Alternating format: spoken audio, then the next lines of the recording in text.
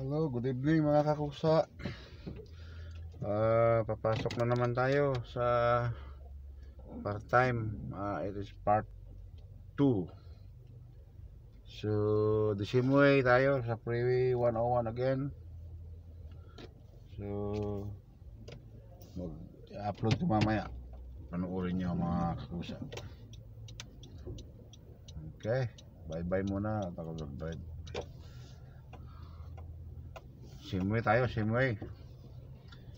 Part 2, part 2.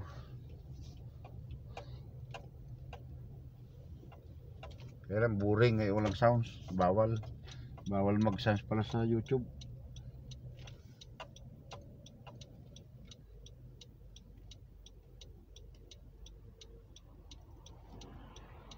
Bawal magkaroon ng music. Walang music. Walang musik. Diretso-diretso lang, walang musik. Walang musik, musik. December tayo mga kakusa. Freeway 101. September 22. 2020 alas 10.15 ng gabi. Ang pasok ay alas 11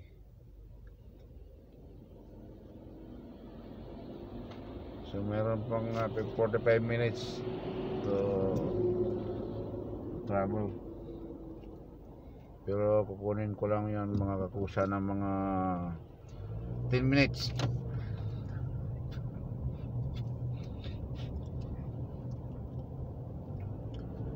mga 10 minuto lang nandoon na tayo.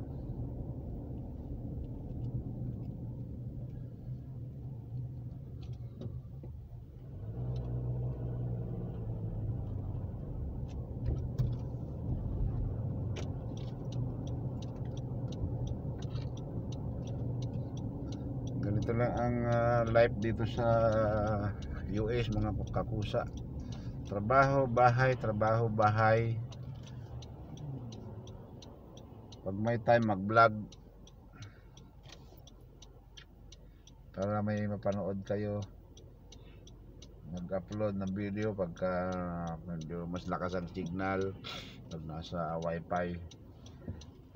Para meron kayong mapanood kahit medyo pa drive drive lang kasi wala pa tayong makuhang magandang adventure kasi hindi man makapamasyal pa masyado So, tsaga-tsaga muna tayo sa pagdadrive. At least, ah,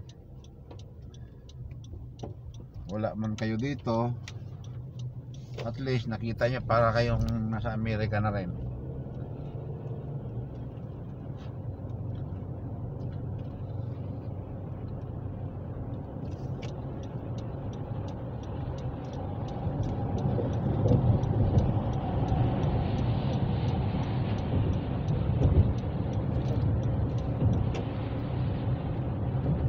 Para na rin nasa Amerika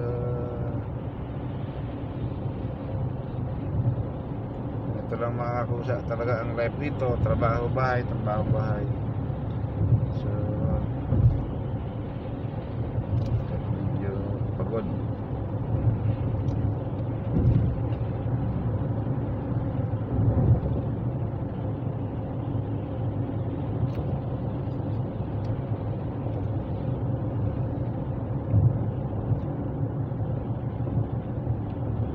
Dahan-dahan lang mga kusa takbo ko kasi kung ni blurred yung mata ko gawa ng kakapanood ng video ni Japper Sniper.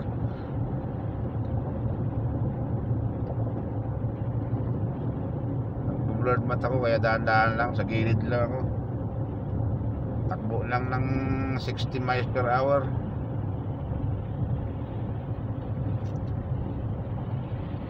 Pwede magmatulin gawa ng baka mamaya may sumulpot bigla sa gilid natin, di makita. Job Lord ang ating sightseeing ngayon.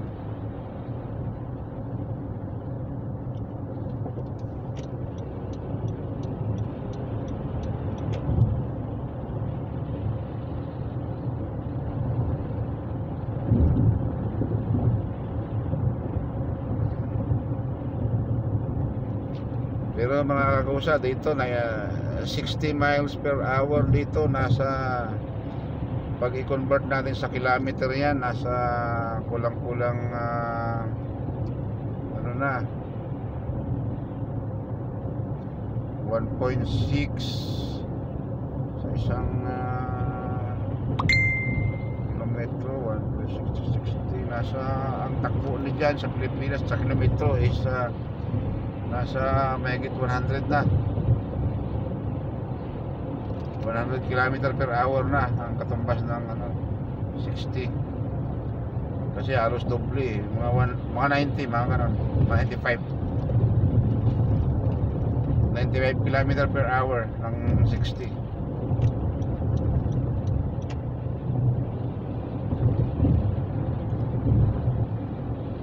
60 miles per hour is equivalent to 95 miles per hour.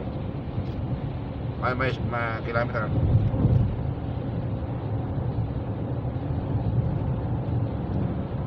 kasi 1.6 eh ang isang kilometro is uh, 1,600 uh, meters sa isang miles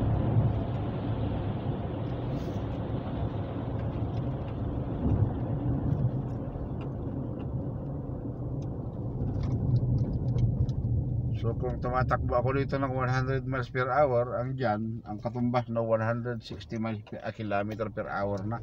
So matulin na matulin. Para ka nang lumuto, lumulutang. For 60, mabagal-bagal pa yun dito. Takbuhan dyan sa freeway, nasa 65, 75, ganyan. Depende sa traffic flow.